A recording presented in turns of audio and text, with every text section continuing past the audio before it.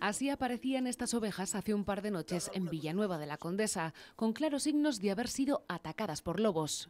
Estaban en la tráquea y se veían los colmillos perfectamente y otra de ellas estaba, según que ser algún cachorro, no había perforado la tráquea, pero estaba asfixiada. En los últimos días, Pedro ha perdido seis ovejas. Gracias a los perros que las cuidan, la situación no fue a más. Tiene un rebaño de mil cabezas en Roales y cerca de 500 aquí, de reposición y en estado de gestación, con las que recorre practicando la transhumancia estos terrenos desde el pasado mes de agosto. Pero se dio cuenta de que podría haber lobos desde que llegó.